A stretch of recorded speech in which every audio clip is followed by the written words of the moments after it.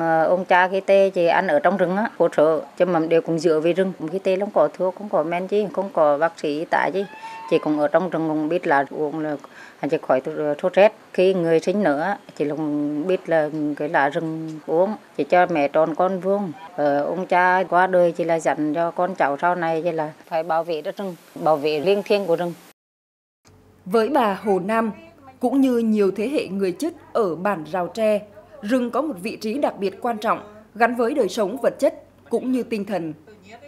Với họ, rừng không chỉ đơn thuần là môi trường sống mà còn là cội nguồn văn hóa. Đồng bào chúng tôi quan niệm của rừng là phải à, bảo vệ rừng.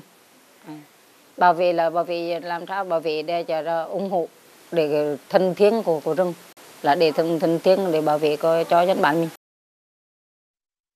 Nếu người chức ở bản Rào Tre có Tết lấp lỗ, Tết mừng cơm mới, chăm cha bới, thì người chức ở bản Giàng Hai, xã Hương Vĩnh, huyện Hương Khê lại có tập tục đón Tết Cha Leng và một ngày chẵn trong tháng 11 âm lịch hàng năm.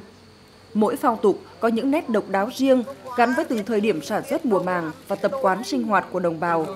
Hàng năm là nó gọi như là nó ở nó gọi như đến Tết, nó gọi như đến cái cha lén đỏ nó gọi như là đến cái tháng 11 âm lịch thì bà con tổ chức là một cái lễ. Nhờ thân lính phù hộ che chở đó cái thiên nhiên rồi thế này thế khác chúng nó tận bệnh quá khỏi chứ nữa.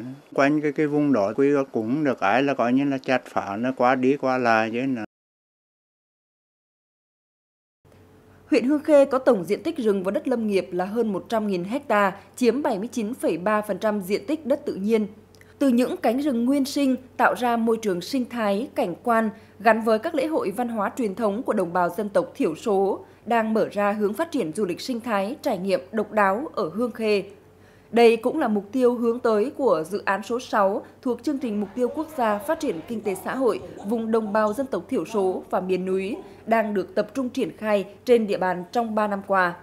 Thì cùng với đồng hành với ờ, đồng bào dân tộc trên ờ, địa bàn thì ờ, đồn biên phòng Bản Giang đã làm công tác công tác tuyên truyền vận động nhân dân tham gia bảo vệ rừng. Thì ờ, từ những làm tốt công tác tuyên truyền thì ý thức của đồng bào là ngày càng được ờ, nâng lên. Đồng bào là ừ, từ những cái ý nghĩa của cái, cái ờ, văn hóa về sống gắn bó với rừng cho nên đồng bào cũng luôn luôn là coi trọng cái vấn đề bảo vệ rừng. À, coi rừng như có một phần cuộc sống của mình cho nên là người ta tham gia bảo vệ rừng đối với Ờ, lực lượng bảo vệ rừng cũng như bộ đội biên phòng thì rất chi là thường xuyên và hiệu quả. Việc chăm sóc bảo vệ rừng của bà con dân tộc Chứt nói riêng và người dân vùng biên nói chung là hết sức quan trọng. Đây cũng là giải pháp góp phần tạo sinh kế bền vững, đồng thời giảm thiểu tác động từ biến đổi khí hậu ngày càng diễn biến phức tạp, khó lường.